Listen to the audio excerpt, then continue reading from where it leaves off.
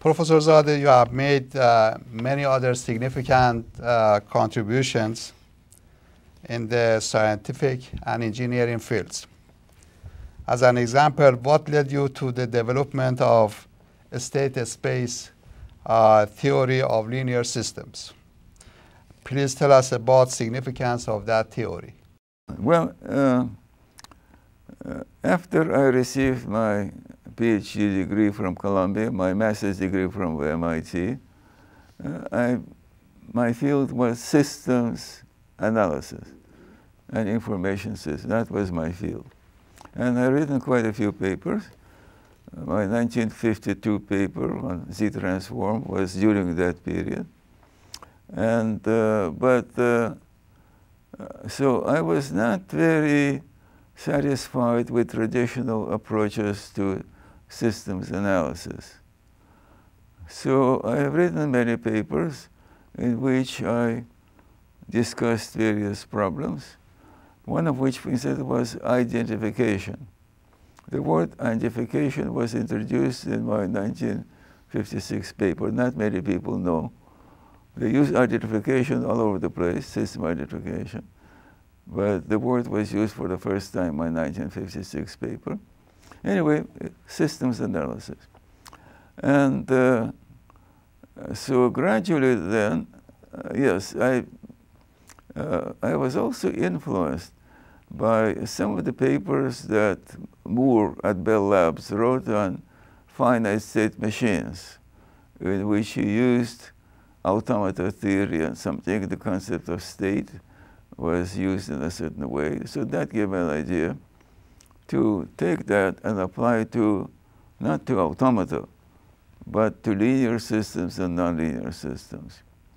Uh, so that uh, I began to write on that subject, and uh, uh gradually it developed to a point where, together with Professor Desoer, we wrote a book, 1963, that was two years before my 1965 paper, state space approach. And in that paper, book, excuse me, book, what I, what I did, the chapters, uh, state space were written by me.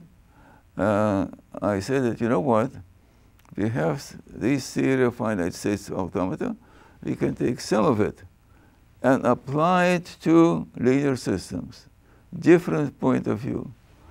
And so that I called state space approach. And uh, the state prior to that, people used differential equations most to deal with systems. So that book had certain influence. In its time, it was popular, it was used in courses on control and so forth.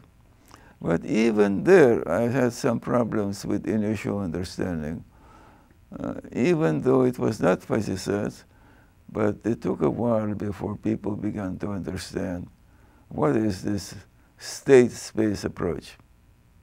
Initially, they didn't. Uh, you mentioned uh, the Z transform. Uh, a lot of people uh, are wondering why the letter Z was used in the Z transform. Yes. Uh, any comment on that? Yes. You know, this is a question that I am asked rather frequently. People assume that Z is connected to my name. No, it isn't. The reason why use Z is because in the mathematical literature, there are some paper on difference equations in by Levinson. In that paper, he used Z, not the same sample data systems but it's something that's related. He used Z. Because he used Z, I use Z. So that was because of the paper by Levinson, Z transform. But as I said earlier, many people assume that it's because of my name. I never did that. However, more recently, and for the first time, I wrote a paper called Z Numbers. Z in that paper is connected with my name, Z number. And the paper just appeared now, just a few weeks ago, in Information Sciences. And I think that that will have many applications. I'm very pleased that at my age I could come up with something that is a new direction. So Z numbers will be used a lot. My fuzzy sets paper uh, at 26,000 citations, Google citations. Usually a paper has 50, 60, 100. In Europe, to become a professor, your paper must have at least 50 citations. 50 citations compared to 26,000 citations.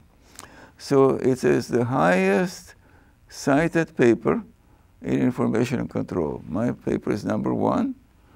The second highest cited paper, 2,000 citations, from 26,000 to 2,000. So my paper on linguistic variable is highest cited paper in information sciences, number one. My paper on possibility theory, highest cited paper in and system. I had the same problem with possibility theory that I had with sets. People did not accept it. But today, if you use Google, possibility theory, many, many papers. So uh, my thick skin is thick. So if somebody tells me I'm stupid, say thank you very much for the compliment.